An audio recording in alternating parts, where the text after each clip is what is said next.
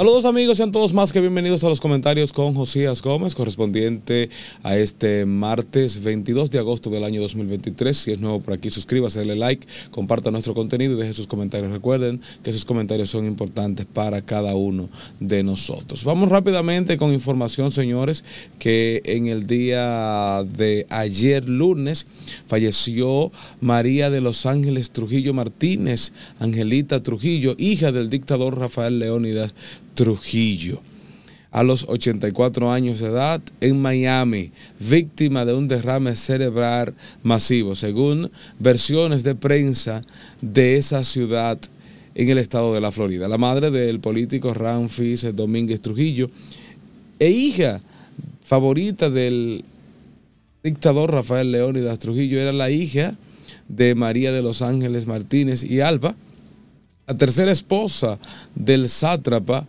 a quien llama la españolita debido a sus orígenes españoles. Trujillo Martínez nació en París el 10 de junio del año 1939 y poco después, por el estallido de la Segunda Guerra Mundial, el dictador Trujillo embarcó con ella de regreso al país, es decir, a la República Dominicana, tras estudiar en el Colegio de Santo Domingo de una congregación de monjas canadienses y ser elegida reina de la fiesta de la paz y confraternidad del mundo libre, Angelita se casó con Luis José León Esteves y luego con Luis José Domínguez, ambos coroneles de la Fuerza Aérea Dominicana. Con el primero procreó a Luis José, Rafael Leonidas y María de los Ángeles León Trujillo y con el segundo esposo a María Mercedes, Luis José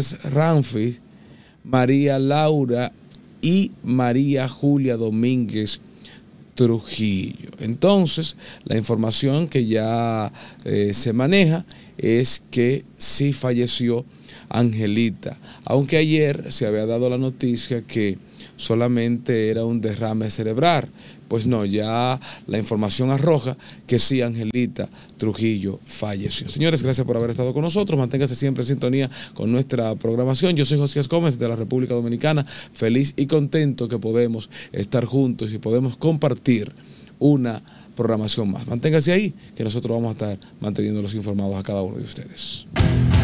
Una programación variada en JG Digital TV somos únicos. De lunes a domingo, aquí encuentras que ver. Las mañanas de lunes a viernes son de la verdad aunque duela. Josías Gómez con sus comentarios de las principales noticias de República Dominicana y gran parte del mundo. Las tardes son del Debate Radio Show donde un grupo de profesionales interactúan de los principales temas de actualidad nacional e internacional. Y en la noche, deportes. Y como si esto fuera poco, los fines de semana. En la mañana, transmisiones de los principales casos de corrupción de la República Dominicana. Y en la noche, no se puede quedar las transmisiones de los Juegos de Pelota Invernal o MLB. JG Digital TV en todas las redes sociales. Sin duda, somos una plataforma digital diferente.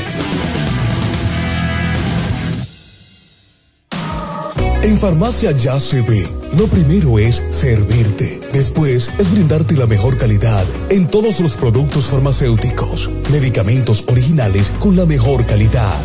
Visítanos en la calle 5, número 14, Los Bordas, Puerto Plata, República Dominicana. Servicio a domicilio llamando al 829-253-0074 y al 829-864-9325. Laboramos de lunes a sábado de 7.30 de la mañana a 9 de la noche. Los domingos y días feriados de 7.30 de la mañana a 8 de la noche.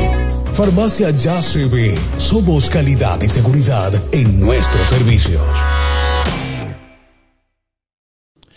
Hola amigos, ¿qué tal? Paso por aquí para pedirles que si no se han suscrito a nuestro canal JG Digital TV, hágalo ahora. Suscríbase YouTube, Facebook, Instagram, TikTok.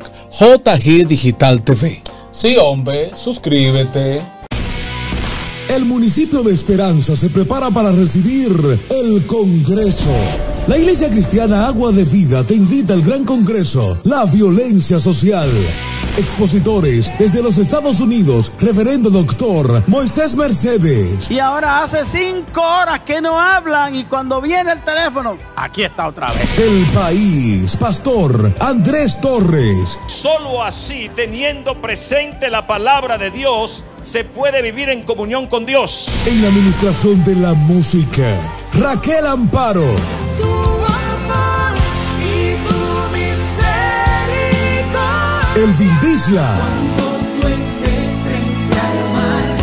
Y Nancy Peña. Sábado 2 de septiembre de 2023, de 8.30 de la mañana a 2.30 de la tarde. Lugar, Centro Recreativo de Esperanza, Club Acipe, calle Minerva Mirabal, número 68, Esperanza Valverde, República Dominicana. Información, 849-360-1289. Gran Congreso, la violencia social, un evento gratis para todo público.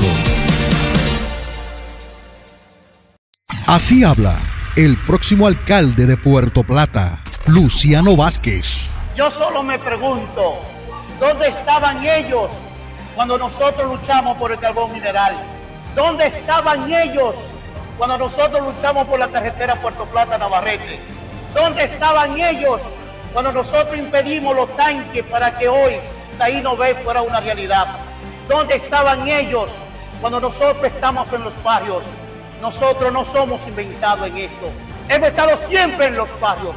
Nosotros sentimos lo que es la expresión propia de sufrir porque muchas veces las alcaldías los abandonan. Por eso aceptamos el reto aquí, en lo que es la fuerza del pueblo. Y seremos el próximo alcalde con la fuerza del pueblo. Las noticias más impactantes, los hechos más notables. El hombre noticias, Josías Gómez, con la verdad, aunque duela.